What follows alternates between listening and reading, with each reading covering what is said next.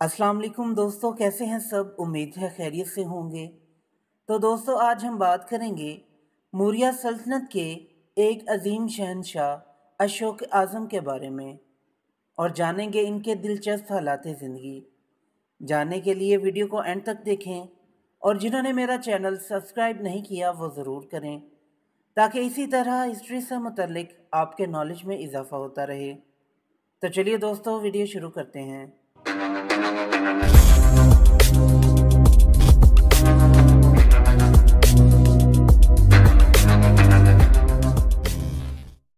اشوک اعظم جسے اشوکا یا Ashoka the great بھی کہا جاتا ہے موریہ سلطنت کے ایک مشہور اور معتبر حکمران تھے۔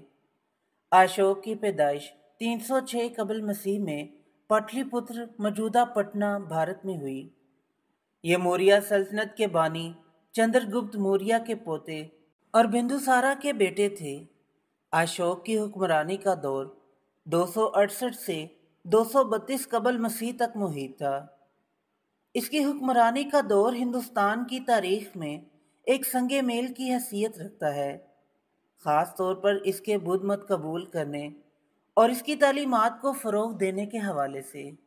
اشوک کی ابتدائی زندگی کے بارے میں زیادہ معلومات دستیاب نہیں ہیں، مگر یہ معلوم ہے کہ وہ ایک نوجوان شہزادے کی حیثیت سے اپنی ذہانت، طاقت اور جنگی صلاحیتوں کے باعث نمایاں تھے۔ اس کی جوانی میں ہی اسے کئی جنگی محاذوں پر کامیابی حاصل ہوئی، جس سے اس کی قائدانہ صلاحیتوں کا اندازہ ہوا۔ اشوک کے والد بندوسارا کی وفات کے بعد موریہ سلطنت میں جانشینی کے لیے شدید لڑائی ہوئی، جس میں اشوک نے اپنی فوجی مہارت اور سیاسی چلاکی کے ذریعے اپنی حکومت مضبوط کی۔ اشوک نے تخت نشینی کے بعد اپنی سلطنت کو مزید وسعت دینے کے لیے کئی جنگیں لڑیں۔ اس کی سب سے مشہور جنگ کلنگا کی جنگ تھی، جو دو سو اکسٹھ قبل مسیح میں لڑی گئی۔ یہ جنگ موریہ سلطنت کی توسیع کی کوششوں کا حصہ تھی اور یہ جنگ اشوک کی حکمرانی کا ایک اہم موڑ ثابت ہوئی۔ کلنگا کی جنگ نہایت ہی خونی ثابت ہوئی۔ اور لاکھوں لوگ اس میں ہلاک ہوئے۔ کلنگا کی جنگ کے بعد اشوک نے جنگ کی ہول ناکیوں کو دیکھ کر اندرونی طور پر ایک بڑی تبدیلی محسوس کی۔ اس نے انسانی جانوں کے ضیاع اور تباہی کو دیکھ کر بدھ مت قبول کرنے کا فیصلہ کیا۔ بدھ مت کی تعلیمات نے اشوک کی زندگی کو یکسر بدل دیا۔ اس نے عدم تشدد، امن اور مذہبی رواداری کے اصولوں کو اپنانا شروع کیا اور اپنی باقی حکمرانی کے دوران انہی اصولوں کی پیروی کی۔ بدھ مت قبول کرنے کے بعد اشوک نے بدھ مت کی تعلیمات کو اپنی سلطنت میں فروغ دیا۔ اس نے بدھ مت کے اصولوں پر عمل کرتے ہوئے کئی اصلاحات کی اس نے اپنے رایا کے فلاح و بہود کے لیے مختلف اقدام کیے، جیسے کہ سڑکوں کی تعمیر پانی کی فراہمی، درخت لگانا اور ہسپتالوں کی تعمیر۔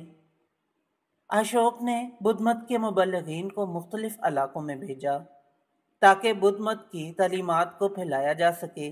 اس نے سری لنکا، جنوب مشرقی ایشیا اور وسطی ایشیا میں بدھ مت کے مبلغین بھیجے۔ اشوک نے اپنی سلطنت میں مختلف ستونوں اور چٹانوں پر فرمان کندہ کروائے۔ جو اشوک کے فرمان کے نام سے مشہور ہیں۔ ان فرامین میں اس نے اخلاقیات، حکومتی پالیسیوں اور مدمت کے اصولوں پر زور دیا۔ ان فرامین کا مقصد عوام کو اخلاقی اور روحانی تعلیمات سے روشناس کروانا تھا۔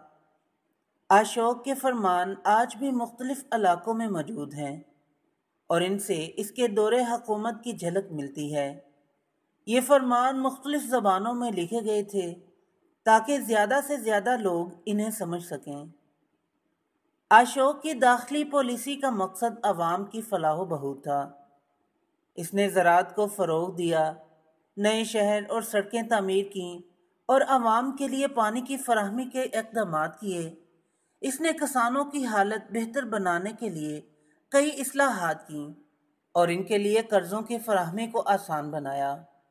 اشوک نے طبی سہولیات فراہم کرنے کے لیے ہسپتال تعمیر کروائے اور انسانوں کے ساتھ ساتھ جانوروں کے بھی طبی مراکز قائم کیے۔ اشوک کی خارجی پالیسی کا مقصد امن اور دوستانہ تعلقات کا فروغ تھا۔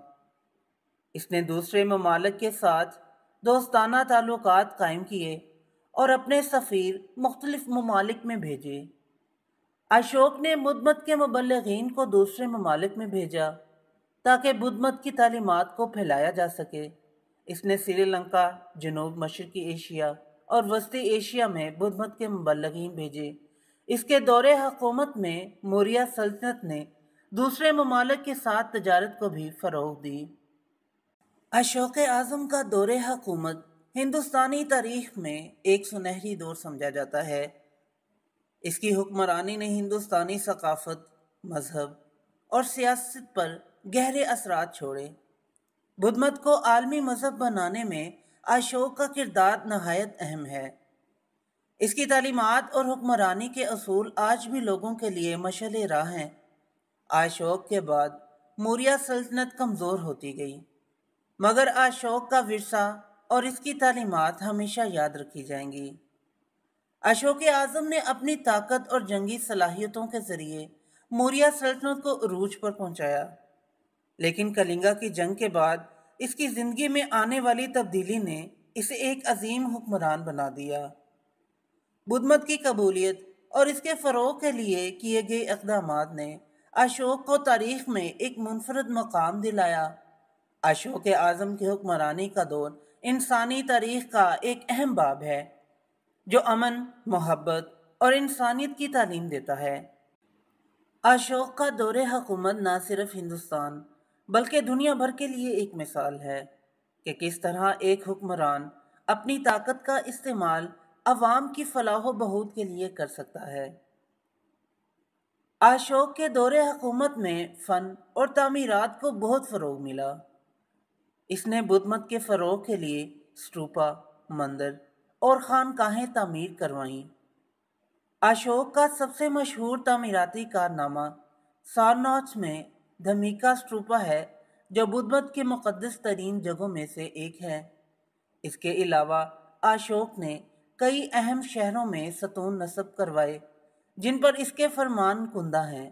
یہ ستون اور سٹروپا آج بھی فن تعمیر کے بہترین نمونے سمجھے جاتے ہیں۔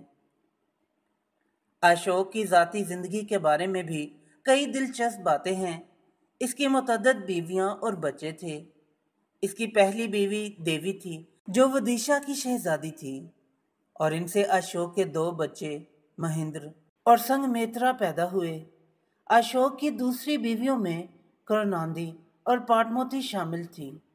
اس کے بیٹے مہندر اور بیٹی سنگ میترا نے بدھ مت کی تبلیغ میں اہم کردار ادا کیا اور سری لنکا میں بدھ مت کے پھیلاؤ کے لیے گئے۔ اشوک کے بدھ مت قبول کرنے کے بعد بھی وہ دوسرے مذاہب کے پیروکاروں کے لیے رواداری کا مظاہرہ کرتا رہا۔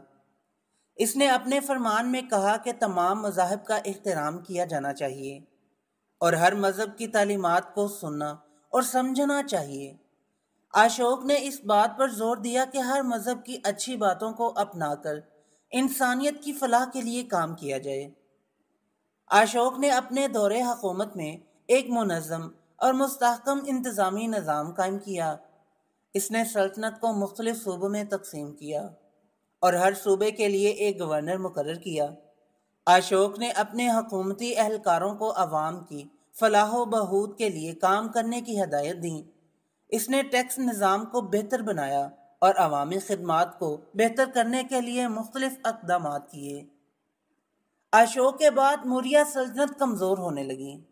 اس کے بیٹے کو نالا نے اس کی جانشینی کی، مگر وہ اشوک جیسی صلاحیتوں کا مالک نہیں تھا۔ اشوک کی موت کے بعد موریہ سلطنت میں اندرونی خلفشار اور سیاسی عدم استحکام پیدا ہو گیا، جس کے نتیجے میں موریہ سلطنت کا زوال شروع ہو گیا۔ اشوک کی وفات کے تقریباً پچاس سال بعد موریہ سلطنت کا خاتمہ ہو گیا۔ اشوک کا اثر و رسوخ نہ صرف ہندوستان میں بلکہ دنیا بھر میں محسوس کیا گیا۔ اس نے بدھ مت کو ایک عالمی مذہب بنانے میں اہم کردار ادا کیا۔ اس کے مبلغین نے بدھ مت کی تعلیمات کو سری لنکا، جنوب مشرقی ایشیا، وسطی ایشیا اور مشرقی ایشیا تک پھیلایا۔ اشوک کے فرمان آج بھی دنیا کے مختلف حصوں میں موجود ہیں اور ان سے ان کے دور حکومت کی جھلک ملتی ہے۔ اشوک کی یادگاریں آج بھی مختلف علاقوں میں موجود ہیں۔ اس کے ستون اور سٹوپا بدھ مت کے مقدس مقامات میں شمار ہوتے ہیں اور ہر سال لاکھوں سیاح اور زائرین ان مقامات کی زیارت کرتے ہیں۔ اشوک کا ستون، جس پر چار شیر کندہ ہیں، بھارت کا قومی نشان ہے اور اس کے کرنسی پر بھی موجود ہے۔ اس سے اشوک کی اہمیت اور اس کی حکمرانی کی یاد کو ہمیشہ زندہ رکھا جاتا ہے۔ تو دوستو، یہ تھی آج کی ویڈیو۔ ویڈیو پسند آئی ہو تو لائک ضرور کریں اور میرے چینل کو سبسکرائب کریں۔ پھر ملتے ہیں ایک نئی ویڈیو کے ساتھ۔ تب تک کے لیے اجازت دیں۔ اللہ حافظ۔